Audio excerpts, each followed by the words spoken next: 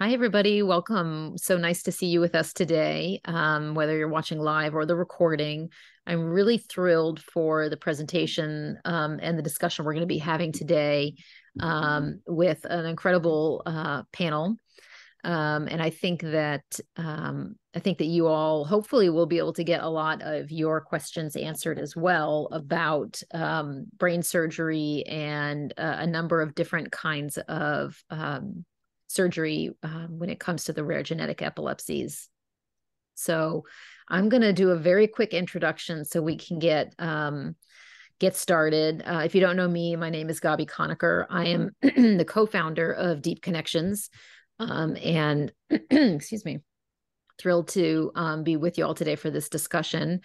Um, I um, our partner, uh, one of our Deep Connections partners um, since the very beginning has been Monika Jones and the Pediatric Epilepsy Surgery Foundation. Um, and, you know, Monika brings an incredible amount of knowledge and resources to this discussion um, uh, because her son Henry was born um, with um, some malformations that led to many surgeries. So she's going to tell you a little bit about her experience um, but um, not only as a mother, but also as an advocate um, who was really uh, frustrated with the lack of any research in this space um, or critical information for families and stepped up to the plate to, to form her foundation and bring this information to families. So I'm going to hand it over you, to you, Monika, to tell us a little bit about yourself and your journey, and then um, introduce us also to Dr. Marashly. Sure, I'm happy to. My son Henry was born with a massive unilateral brain malformation. One half of his brain was very large and deformed, which caused him to have seizures since birth. Actually, when I look back in time, he was probably seizing in utero. And so, very quickly, we learned he would need a procedure known as a hemispherectomy, which is removing or totally disconnecting one half of his brain. So he had this done when uh, he was three months old. Um, he needed a couple of revision surgeries. His condition is a very tough disconnect. But finally, at three and a half years old, they actually removed the left half of his brain.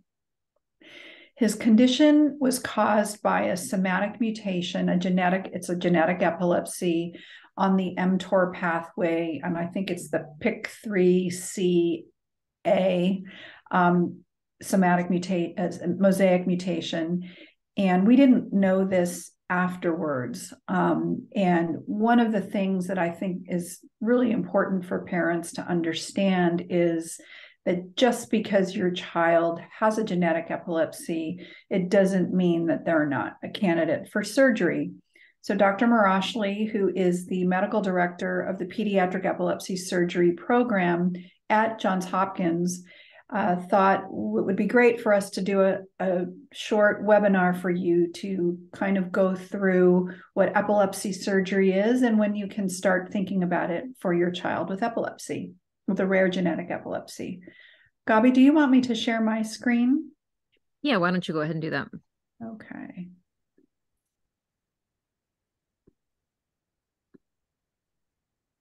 I hope after how many years have we been in the pandemic that I'm doing this right?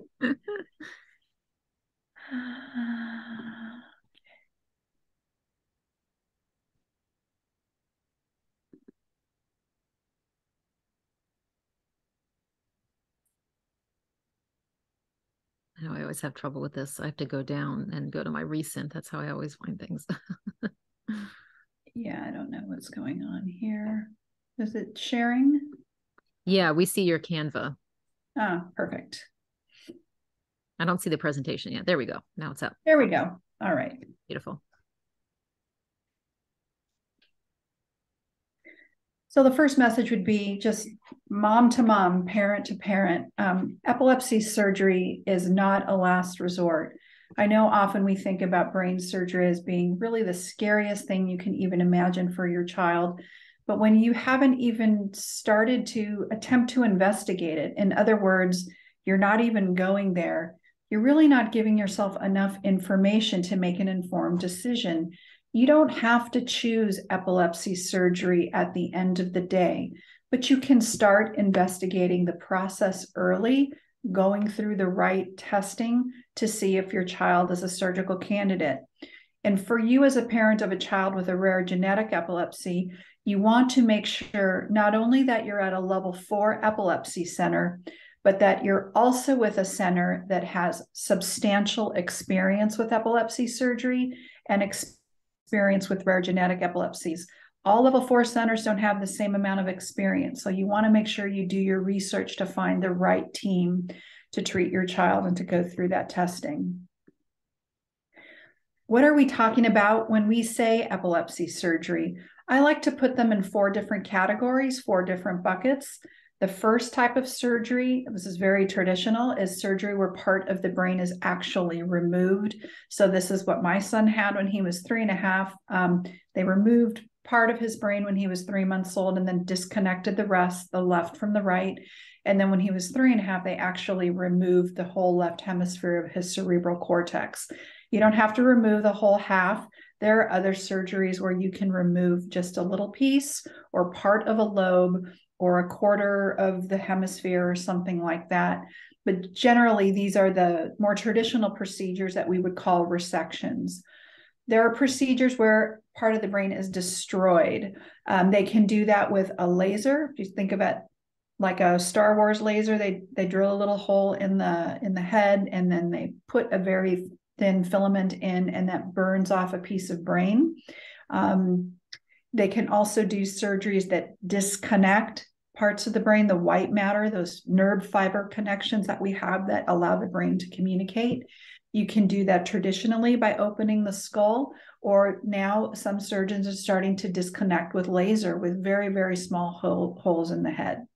And then finally, this technically isn't epilepsy surgery, but it is starting to be grouped as, as part of the category of epilepsy surgery, which would be surgeries that either stimulate or modulate the brain. You may be familiar with, for example, a VNS implant. Those would be considered um, a surgery to stimulate the brain. And we'll, Dr. Marashly will talk about those at the end of the presentation because those are the surgeries you look to when resections or destructive surgeries or disconnective surgeries are not possible. Before you make the decision of whether your child should have surgery, you have to get all your cards out on the table, I like to say. You have to know whether your child is even a candidate in the first place. You can't rely on a recent EEG or an old MRI because that is not enough to be part of a comprehensive surgical evaluation. You want to make sure that um, your child has a EEG, preferably five days, so we can really see where their seizures are coming from an MRI on a strong machine, which is at least three Teslas. Some facilities may use a MEG scanner. Some may see that your child needs additional testing like SPECT or PET. And, and we can, uh, God be happy to go through what those are in another um, webinar. And then there are some invasive surgeries like stereo EEG, which is really a way to pinpoint exactly where the seizures are coming from. Dr. Marashly, would you mind starting us off with talking about why EEGs and MRIs alone may not be enough to see if a child is a surgical candidate? Um, yes, of course. Um, let me start my video here. Thanks for giving me the chance to uh, talk with you today. But um, generally speaking, uh, I always explain to my patients that a seizure is an electrical storm in the brain. So basically, that baseline electrical activity that all humans have when it gets out of control, it literally becomes a storm and causes all symptoms of seizures. However, the amount of the brain involved in that storm varies greatly in different patients and also between the one seizure and the next. Generally speaking, uh, we will have to have at least six to seven square centimeters of brain cortex involved in that electrical storm for the surface EEG to pick it up. Now, that happens in many cases, but in some cases, the amount of cortex involved that gives uh, symptoms and seizures is much smaller than that, number one. Number two, uh, the depth and the configuration of the part of the brain that is producing the seizure both factors play a big role in how much cortex is involved. Not only that, and how much cortex is actually picked up by the EEG itself. It's a much more complex issue than those three factors that I just mentioned, but it suffices to say that a combination of a small amount of the cerebral cortex being involved, depth of the erosion and the propagation of seizures, and then the configuration of the part of the brain involved, all these could be confounding factors, making it hard for regular EEGs, regular EEGs meaning the EEGs that uh, are stickers on the uh, scalp, to, to pick it up. And you can see here, of course, you know, the second line only detects when large group of neurons fire at the same time. That's exactly what I was trying to say. I can continue and talk about the MRIs. Uh, uh, traditionally, we would call normal look at MRIs uh, as you know normal MRIs. The truth is, just like the slide says, sometimes the part of the brain that is malformed or contains abnormal neurons is too small for the traditional MRIs to pick it up. So finding a normal MRI does not necessarily mean that there isn't no lesion to chase. It means that the MRI either cannot see that lesion because it's too small, or again, situated too deep, or at a, an anatomical location that is difficult to really discern and study, or indeed the MRI itself looks clean. But that by no means uh, uh, is an indication to not consider surgery. This is one of the biggest misconceptions in the world of epilepsy surgery. Uh, unfortunately, I have heard uh, this over and over, even at scientific uh, meetings, where people say, "Oh, you know, normal MRIs, we're not going to even think about surgery. Uh, we're not going to go there." It's a total falsehood, unfortunately. If you look at the numbers and the research and the literature, there is such a huge gap in the efficacy of any uh, treatment modality that we have for focal refractory epilepsy and surgery, including those patients who have no target on the brain to, to, to chase after. Even those patients, if carefully studied, and as Monika explained at first, are being taken care of by an experienced uh, group, an experienced epilepsy surgery center with, we were talking about that specific modalities of testing, that by itself increases the chances of uh, success of epilepsy surgery, even if there is no lesion on the brain. And of course, we also have to take into account the fact that age itself plays an important role in our ability to use MRI as a, uh, a testing modality for a couple of reasons. Number one, um, uh, the brain development development itself. So it is very well known that in the first couple of years of life, the brain is immature in that the process that we call myelination, which is the maturation of the white matter, all these uh, fibers that connect different parts of the brain to one another are not mature. They are not very easily distinguished from the gray matter. And therefore, when you do an MRI on a kid, especially in the first couple of years of life, it's hazy. It's hazy because that's how it's supposed to be. And that haziness makes it hard to study that MRI. And sometimes, as a matter of fact, maybe more often than sometimes, things are missed because of the nature of the brain maturity itself. That means two things. Number one, that normal MRIs in the first couple of years of life may translate into abnormal MRIs after that. But more importantly, in my opinion, it doesn't mean that we have to wait for a couple of years for the brain to mature and myelinate. What we need to do is to put together all the information that we know about that one particular patient. Remember, we study the seizures, how they look like. We study the EEG. We study the physical exam. There are other imaging modalities. And even if the first MRI was normal, or called to be normal, you put together all the information that you had from the other tests, and you go back, and then, and that's what we practice here at Hopkins go back and look at the MRI again. And I can tell you from my own personal experience, as well as the literature, the chances of picking things up with this methodology, with, this universal approach for the patient. You know, we're not we're not just looking at a test as an isolated singular test. We're looking at it in the context of the patient. That can uh, reveal things that are not uh, there. Uh, so a second look as a, a, universal look is always uh, necessary And it sometimes can really get us over that threshold of haziness that young brains have on MRI. I always get really nervous, Dr. Marashly, in a lot of the Facebook groups as a patient advocate because often parents say, "Oh, my child is not a candidate for epilepsy surgery. Their MRI is not. They didn't find anything on MRI." It's really difficult to try to convince a parent that their doctor might be wrong, and mm. you know they could still be a candidate. They just have to dig a little deeper using different modalities. So, thank you so much for clarifying that, clarifying that for our families. Of course.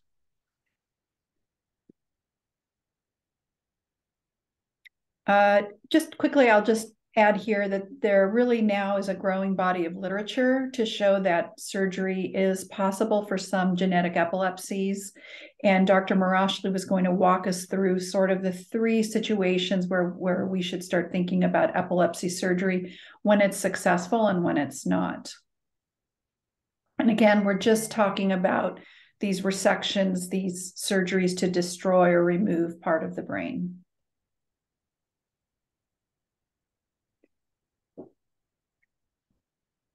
So genetics is it's a fascinating and quite complex. Uh, if I should start now, Monika, correct?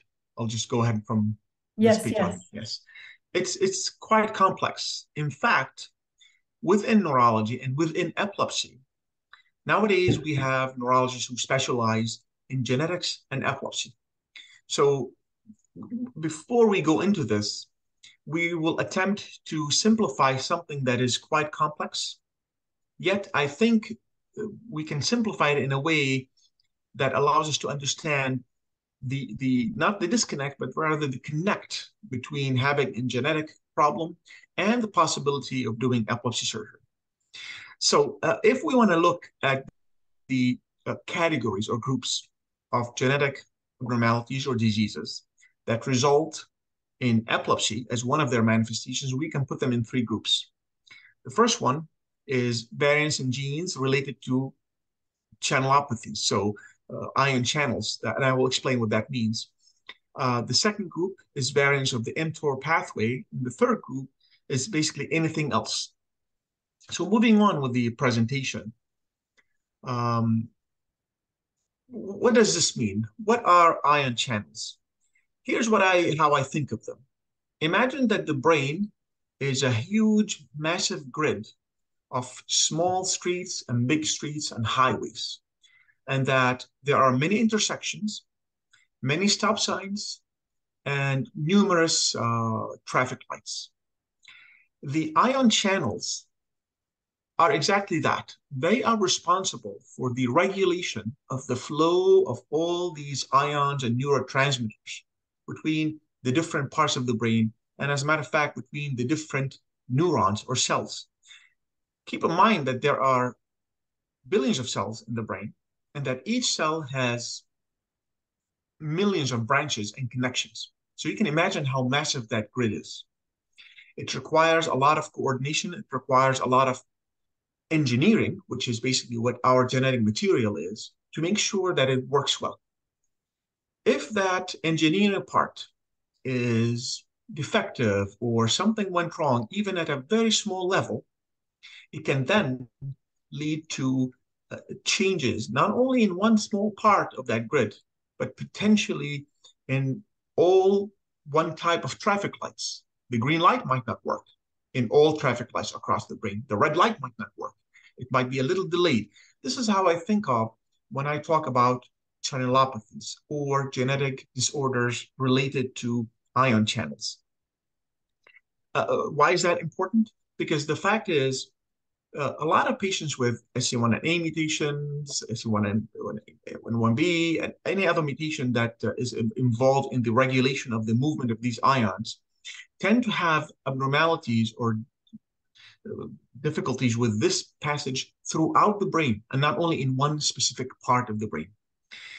Now, uh, that is what translates into Dravet syndrome. We know that Dravet syndrome is basically having multiple kinds of seizures that are difficult to treat, and with an EEG that shows you what we call multiple multifocal epileptiform discharges. It is reflecting a widespread disorder in the brain.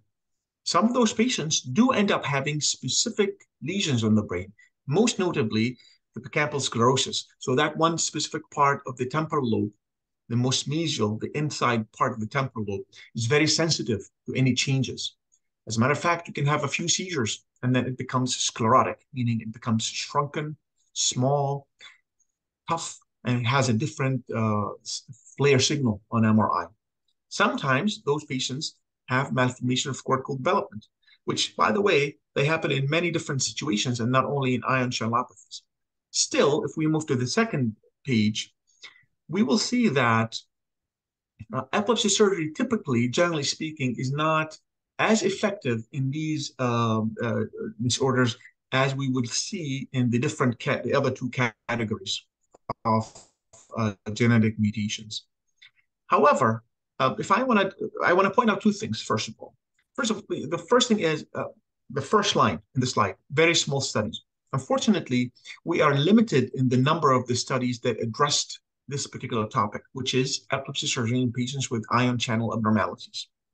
So there's a bias. We think we know, but we we actually realize that we know a little bit only. This is an area that needs more exploration.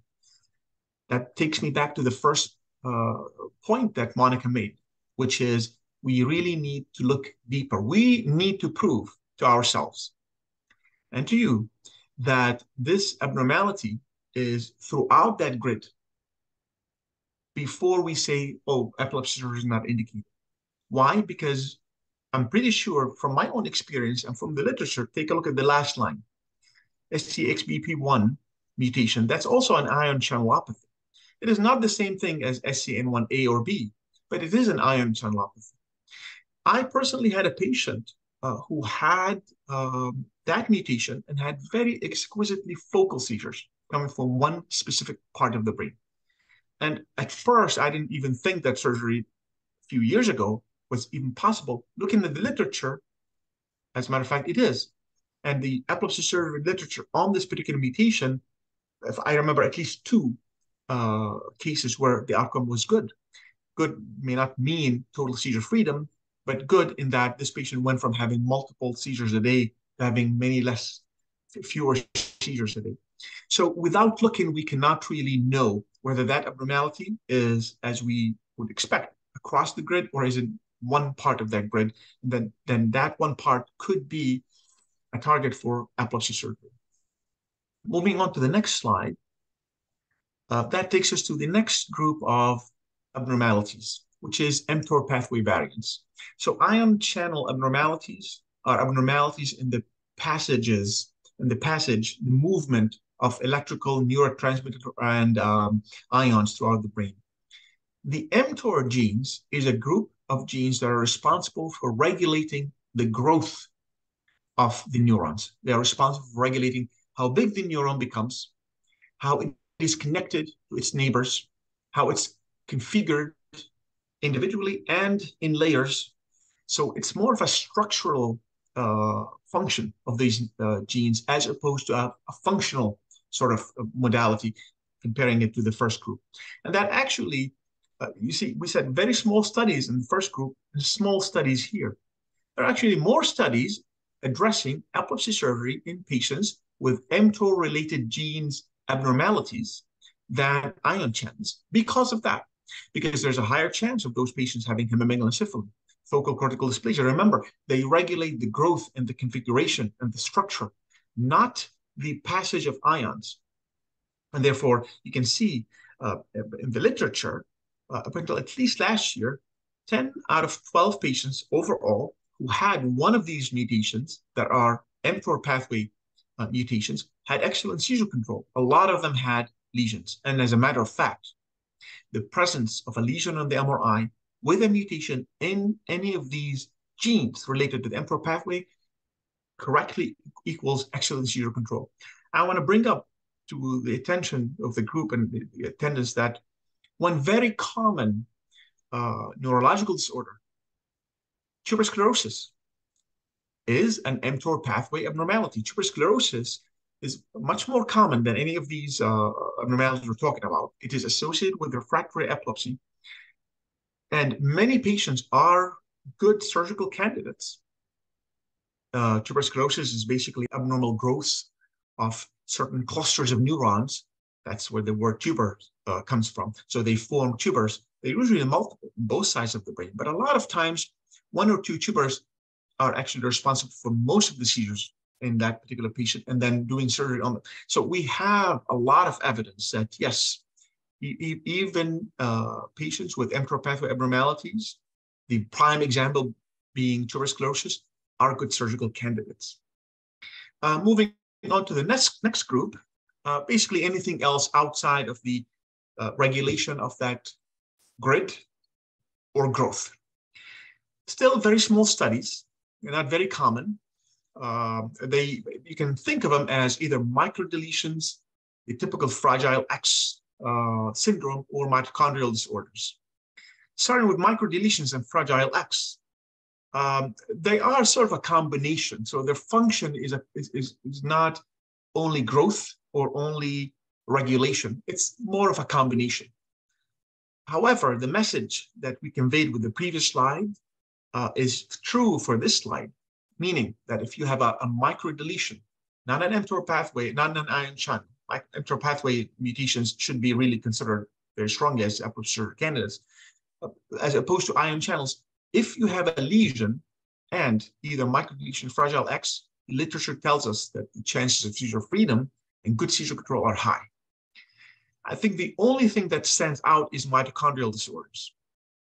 That is because mitochondria, just like these ion channels that are found throughout the brain, mitochondria are basically the small factors within the cells that produce energy, that moves uh, uh, the cells, that basically, in order for you to really have electricity and move around, you need to produce energy. It, mitochondrial disorders typically affect all cells of the brain. So we have the same problem that we have with the ion channel prop, uh, group, which is it's a diffuse disorder. That's why patients with mitochondrial diseases, even if there is a, a you know hippocampal sclerosis, for example, a focal lesion, may not become uh, seizure-free or respond as well as uh, the other groups. But again, I do want to highlight two things. Number one, this is a, a growing field. We still know little. Much more research is needed. And number two, in order to achieve this first goal, doing that comprehensive epilepsy evaluation is key. Saying that, okay, the whole exome sequencing or the gene panel, the epilepsy gene panel showed this, there is a genetic problem. Therefore, we're not going to even go and do another MRI or another EEG uh, admission to the epilepsy monitoring or a PET scan or a SPECT, etc., etc. We are losing data by not looking. And I always say to myself and to families and colleagues, you will never know until you look. We always have to keep in mind that a comprehensive epilepsy workup is something that families and patients with refractory epilepsy are very familiar with. It is just an upgrade. Sometimes it's a massive upgrade, but it's an upgrade to tests that you know what they are. You know what an EEG is. You know what an MRI is. A PET scan is a machine that may not look very different than an MRI machine. The same thing goes for a SPECT scan. Um, neuropsychology testing is basically, none of these tests are invasive. That does not commit to surgery, but it might open massive doors towards solutions, surgical or not. Therefore, the message that I always tell any patient with refractory epilepsy, focal or not focal, is allow us to look, allow us to utilize the tests that we're very familiar with that have literally almost a zero chance of harming because you know, compared to a big seizure, a massive seizure happening at home, a seizure happening in the epilepsy monitoring unit where you have doctors and nurses and support staff is much less likely to be harmful, in my honest opinion. If you do all that test testing, you will know you will gather, you will become knowledgeable. Knowledge is power. Then you will know if this is something epilepsy is indicated or not. Anyway, I'm, I'm belaboring over this, so we we can keep no, going. it's a great point. It's uh, it's important. You you have to have all the testing done in order to have all the information you need to make a decision. You can't just stop at the MRI looks good, for sure. Exactly. Exactly. Yeah. Exactly. Um, And that's what I have to, uh, to say about uh, the rare genetic disorders. I just wanted to throw in this slide about a lot of those papers that we were reviewing in order to prepare this presentation talked about seizure freedom as being the ultimate goal. But I know for many of our in our community, seizure freedom is not possible, but substantial seizure reduction may be just enough to give your child a better quality of life. So when you're exploring these surgeries, keep your mind open to the possibility that the procedures may not stop all the seizures completely, but they may res- reduce that seizure burden enough. So, for example, maybe now your child can hold up their head if they're if they have multiple severe impairments. Maybe they can now hold up their head so they can start taking food by mouth. If for a child who has um, less physical challenges, maybe now they can have the attention that they need to start learning in school. We need to keep an open mind about what our end goals are as parents when we're looking at these procedures. Dr. Marashly, could you also talk about for those whose children, you know, ultimately are not candidates for some type of resection, about the neuromodulation devices that are now available? Definitely. So um, neuromodulation is uh, not exactly the concept of it is not exactly new, but it is uh, a lot of its components are new, and it is gaining momentum. And um, at the end of this week, the American Epilepsy Society meeting will start, and many uh, panels and special interest groups and lectures will be talking about neurostimulation or neuromodulation. Um, it has three different uh, modalities as of now. As you can see in front of you, we have what we call RNS, which is responsive neurostimulation.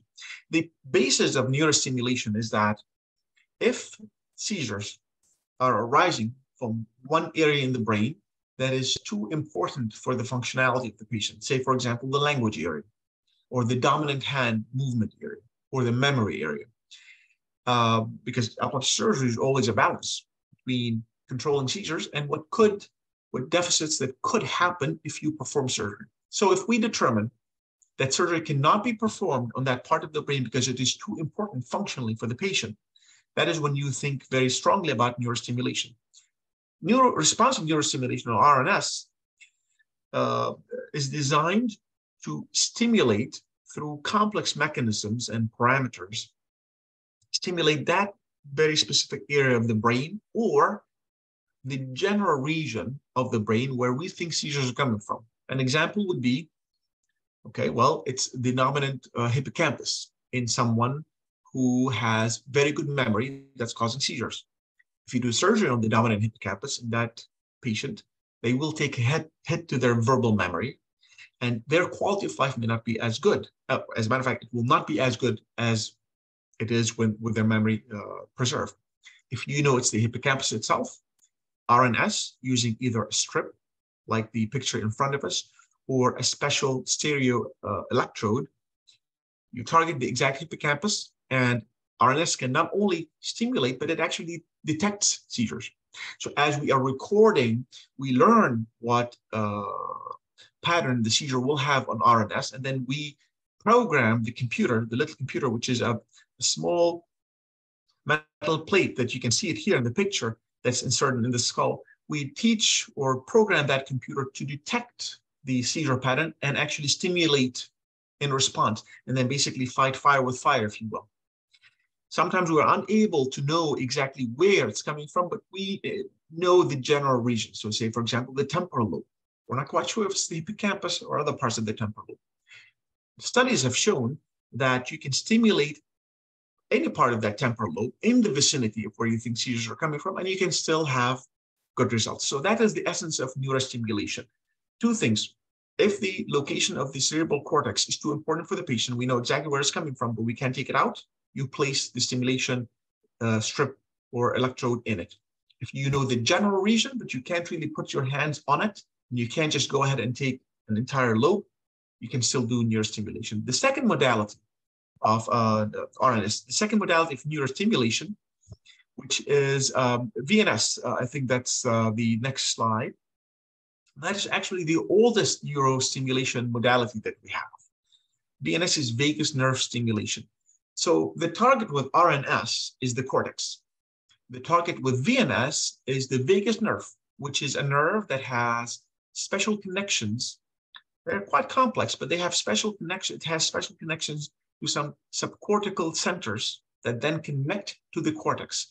The idea that chronic stimulation, so you can see the battery that's inserted uh, in the chest underneath the skin, of course, is very thin these days. You can hardly feel it, even if you know the VNS is there if you touch it. So it's very cosmetically, it's pretty acceptable, but it connects to the vagus nerve and it stimulates.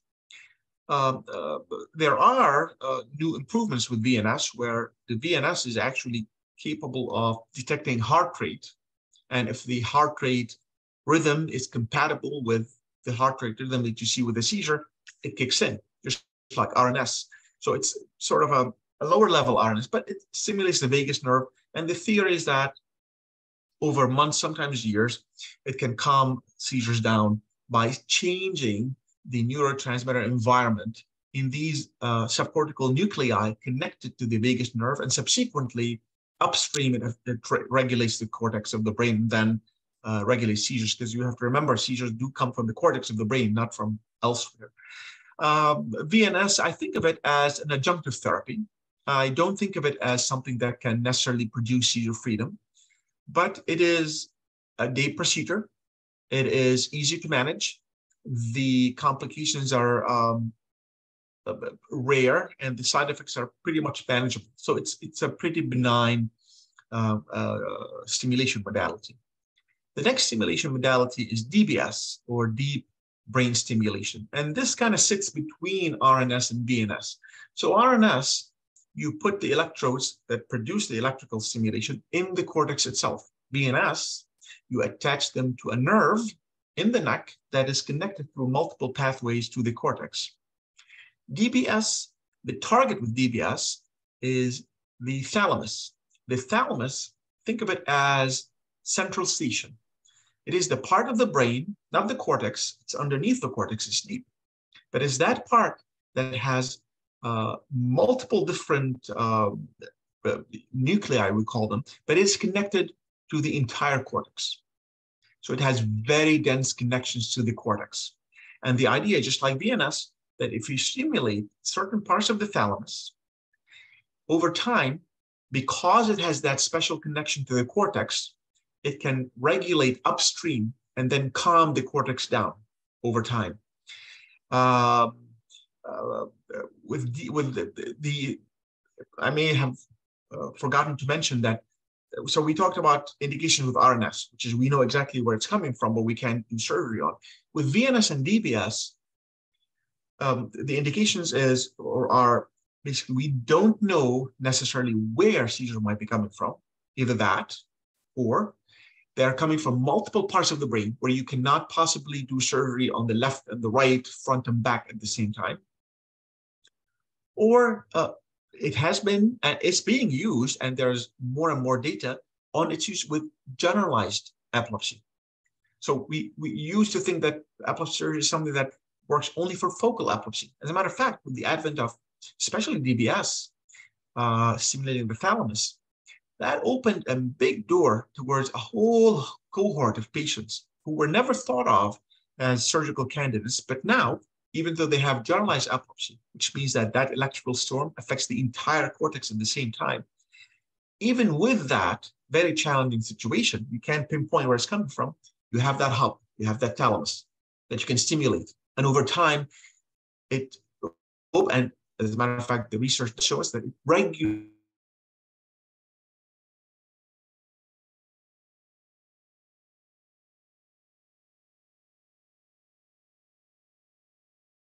the exact rates of seizure freedom, but we do know that over five to seven years, at least, that there is some decrease in the number of seizures.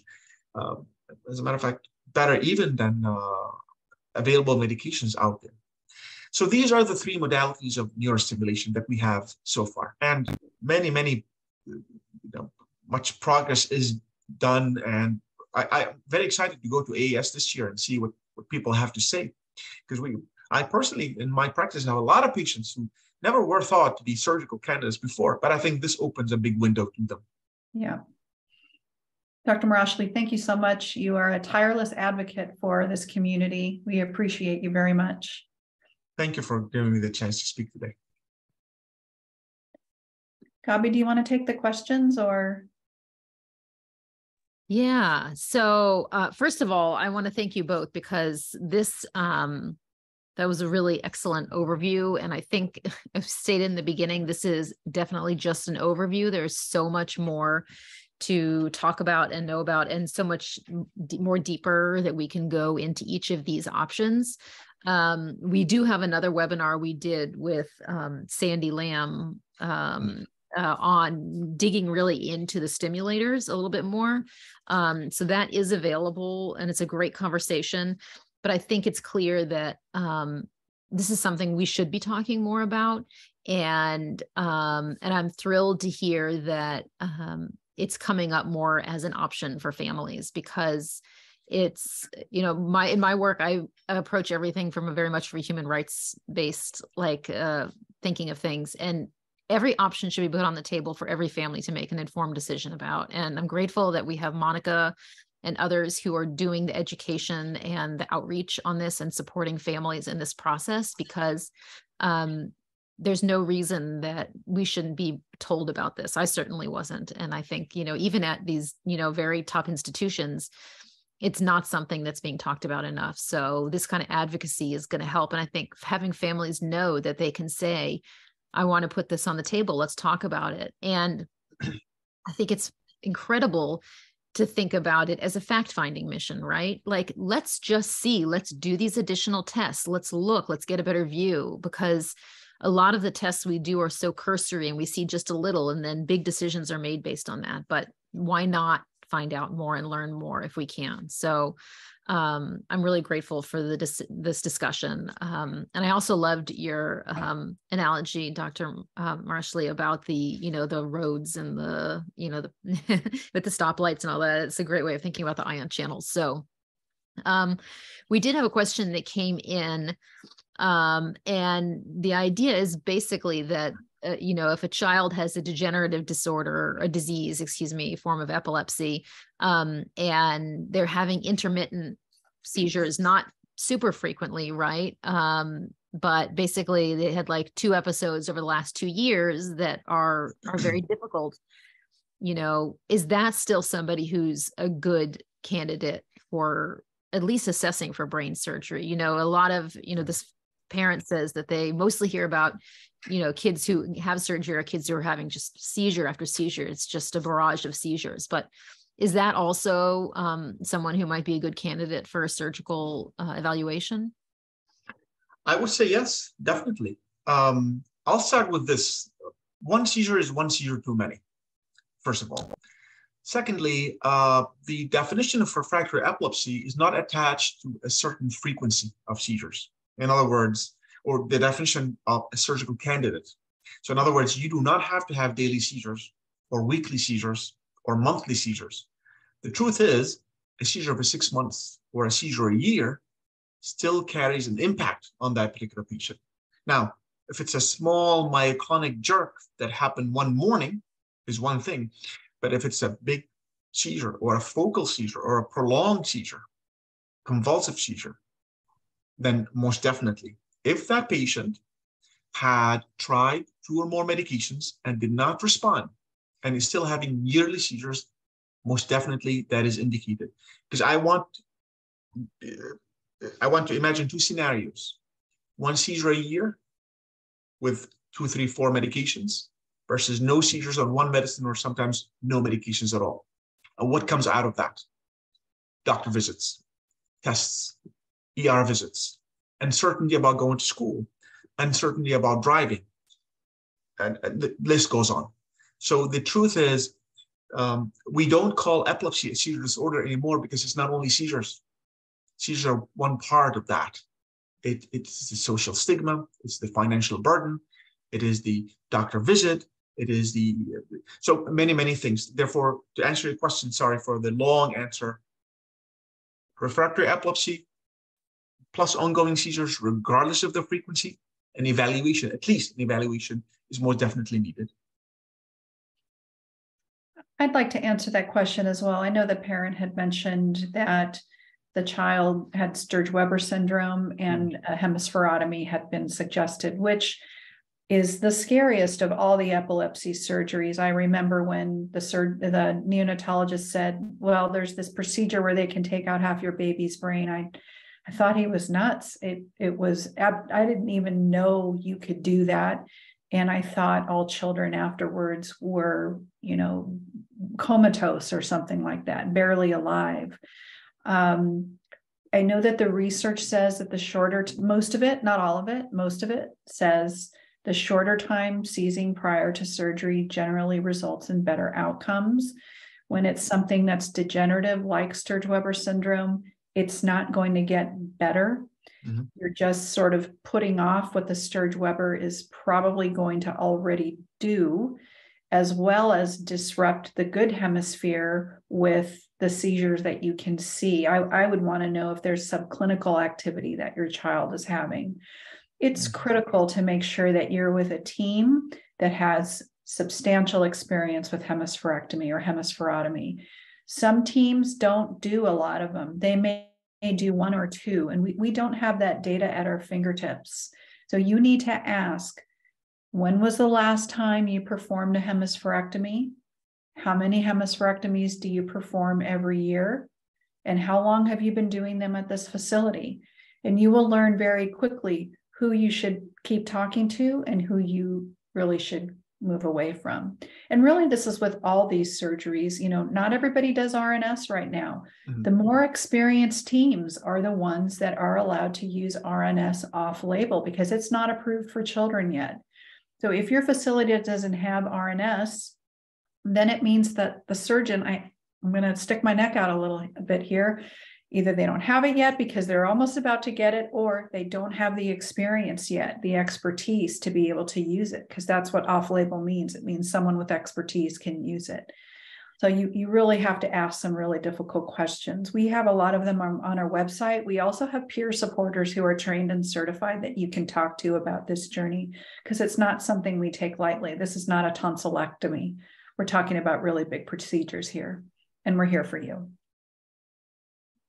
Yeah, no, I think it's so important to raise the the kinds of uh, that we have to be informed consumers of when we're search, you know, seeking this kind of a very intensive, you know, um, intervention, right? And it's, uh, I love how you advocate that it's not it's not an end of the road kind of last resort, but it's one you want to be thoughtful about and you want to make sure you're asking the right questions. And I know from sitting in lots of different meetings that um, and this is also maybe a little controversial to talk about but the reality is is that hospitals are looking for revenue. Brain surgeries bring in a lot of revenue because uh, it's a major surgery. And you can tell me if i'm wrong but what i've heard is that a lot of places don't like to refer out because it's the kind of procedure that the hospital needs to bring in revenue that being said, I'm not saying that doctors are doing things irresponsibly or making recommendations irresponsibly in that sense, but it's it's it's it's important for us to be informed and ask the right questions and feel free to say i want to speak you know have a second opinion. I'm interested in you know um and and finding out what what their really qualifications uh, there are for, um, at that site. Yep. I also want to add that you know uh, besides the experience, uh, and I totally agree with that, um, epilepsy surgery, so the counterpart or the other end of uh, uh, hospitals wanting to do epilepsy surgery is them not wanting to tackle on or take on the more complex cases. And when I say that, uh, if we want to look at private practice, for example, or smaller, regardless of the kind of the practice, really, if we want to take a look at many hospitals that may not be as experienced or as dedicated or have all the components of an epilepsy surgery program, we'll see that they will take on clear, obvious cases and they will prefer or not take on the more complex, the non-lesional, for example. Mm. Or, uh, you know, neurostimulation is great, But uh, there has been a wave that is, oh, well, we're going to neurostimulate everyone. Because if you do a VNS or a DBS, you eliminate the need to think carefully and try to come down to a surgical, traditional surgical solution. Mm-hmm. The way I approach it is that workup needs to be equal to all patients, whether we, from the first moment, think they are excellent uh, surgical candidates or they are poor surgical candidates. Because this qualification changes as you are doing the workup. And as you are doing the workup and digging deep and doing invasive EEG, stereo EEG, or depth and grids if needed, you're gaining more information. It is after all this has not been useful in telling us this is where seizures are coming from, and then therefore we can do resection, disconnection, or laser ablation, that you move to neuromodulation. Sometimes it's a combination of both. But I've seen a wave of people just, okay, let's do more VNS or DBS or ARM. Yeah, that's why you you really not only need to look at the um, experience, but you also want to have that feeling that all testing has been done and thoroughly reviewed and talked about in details before you conclude, okay, now we have one, two, three, four options, or we have only one option. Does that make sense? Yes. Mm-hmm. Absolutely. Um, uh, I had a couple of questions that came in before um, the session. One of them was, how can you find the right center? Have we talked a little bit about this? But Monika, do you guys have resources on your website about sites that do surgery, or um, is there a good way to get information? Yeah, so there, the National Associ- Association of Epilepsy Centers has um, the designations of level three or level four epilepsy center, which I will say that just because you're at a level four center, it does not mean that's enough. You need to, you need to dig deeper. Um, you want to know, so we have a whole list of questions you ask the team. You want to know where the surgeon trained are they an adult neuro- neurosurgeon that's just starting to dabble in pediatrics? That's not something that you want. Are they a fellowship trained epilepsy surgeon? How long has the facility been performing epilepsy surgery? Just because a facility says, hey, we're a level four now, we can do this, doesn't mean they should be doing it. And do they have all the weapons available for your child? This is a battle at the end of the day. We're fighting for our kids to get the right treatment. There's medical weapons you can use, drugs. There are surgical weapons you can use. You want to make sure the team has available to them all the weapons. And then we have to figure out what's the best weapon that we can use for your child. For my kid, he needed a cluster bomb. We had to take out the whole half a hemisphere. For your child, you might just need a tiny little zap with a laser. You know but you don't even know that until you have the right evaluation with the right team. Yeah. No i think that's so important. Um can we talk a little bit about what recovery looks like um you know i had one person write in and said what do things look like after? Uh, i'm sure it's not it, it varies a lot but you know can you tell us a little bit about that? And and maybe also weigh in on how your peer um, how your peer advocates um, counseling advocates really help families through this?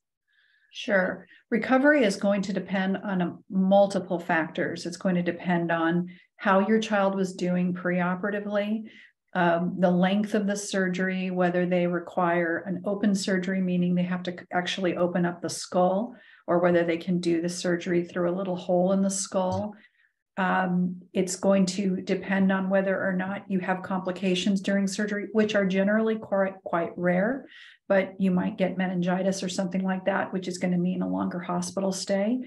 Uh, my son, for example, his third brain surgery to actually remove half of his brain was a 14 hour procedure. He walked into the hospital and we brought him home a month later barely able to hold up his head and tube fed. That didn't last forever, though. Within three months, he was walking, he was eating hamburgers. For some kids, it's a slower recovery.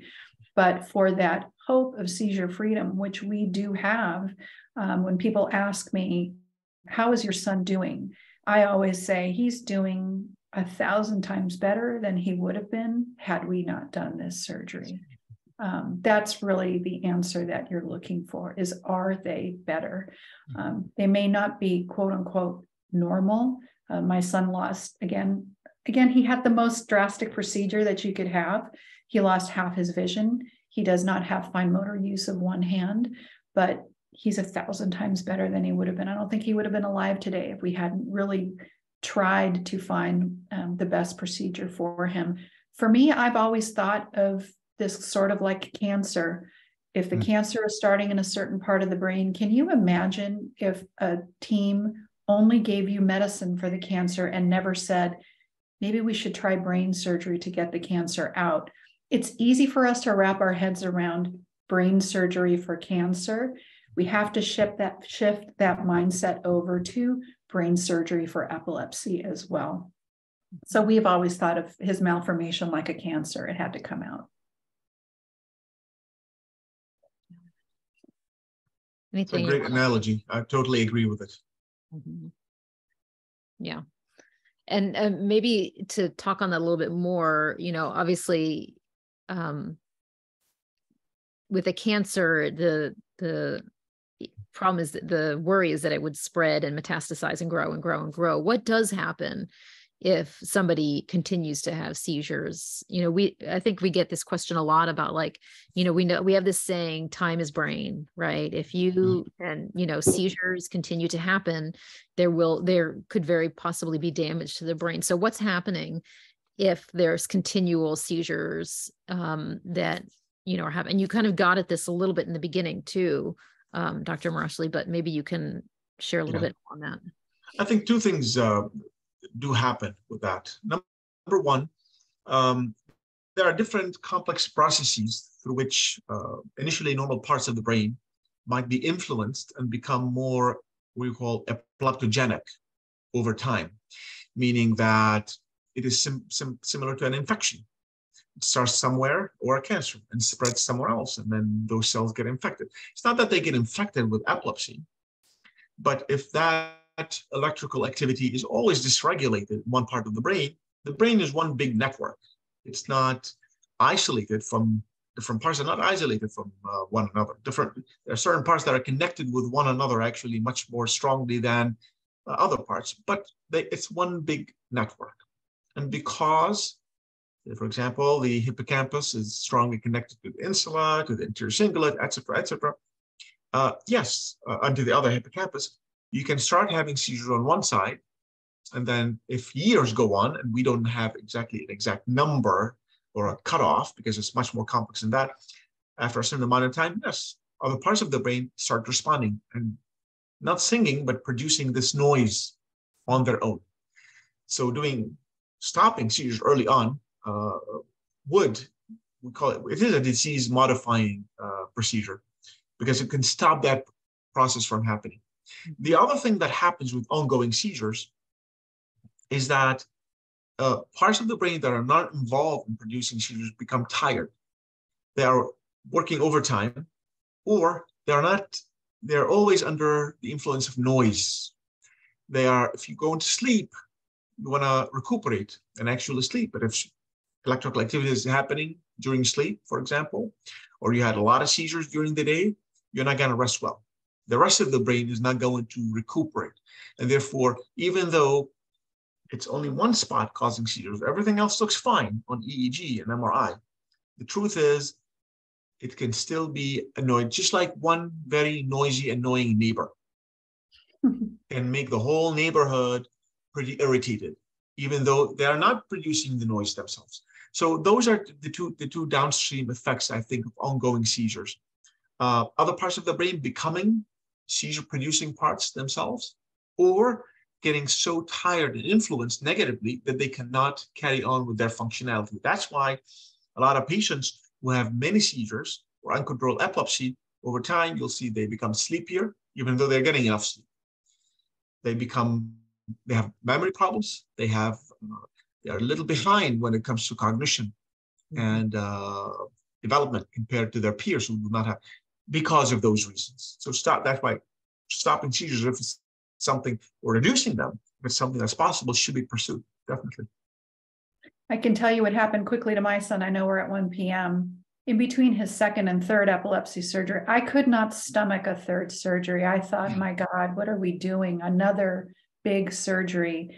And in that year and a half, he mm. lost every single spoken word and has never spoken again. So, because I was afraid, he lost everything. And I, it's one of the things I regret most is that my fear, you know, we, we, we lived with those seizures that took away all of his spoken words. I've never heard him say mama ever since. It's really something to think about when you're when you're not pursuing surgery, you're all you're making a decision by doing that actually because you're allowing your child to continue with the seizure activity. So please try to investigate it if you can. Yeah, that's so important that there's there's something at stake. The waiting, you know, waiting can you lose you lose things when you wait too so yeah, yeah exploring your all your options as soon as you can um oh thanks sandra just said this has been a lovely discussion. I hope it makes its way to many families to support them in their journey. Thank you for your dedication and that's how i want to close. I want to say thank you to both of you. You guys are doing incredible work. Um, we're so grateful that um, both of you are in this space advocating and educating families and additional doctors. I mean, this is also a case of not just having to educate families about options, but a lot of clinicians do not bring it up. And I know uh, Monika is working really hard with a lot of different folks to um, mm-hmm. make sure that this is something that um, that clinicians are bringing up as an option and, and counseling families, even if they can't do it, to say, hey, this is something to consider. So um, thank you for all the work you're doing. This has been an incredible discussion. And um, Monika, we will definitely link to some of the resources that um, you mentioned on here um, and some of those publications um, when the when the webinar is up on the page. So I want to thank you all. We'll see both of you at AES. I know we're heading, all of us are heading to the American Epilepsy Society meeting in Nashville uh, to keep having these discussions um, and and continuing to advocate for families um, and for improved care for our children. So uh, that's the our last webinar for this year. Um, so thank you everybody in the DEE-P community and all of these incredible doctors and advocates who have come and um, work with us to provide these resources for families. We're really grateful to have you. Thank you, everyone. Take care. Thank you. Thank you for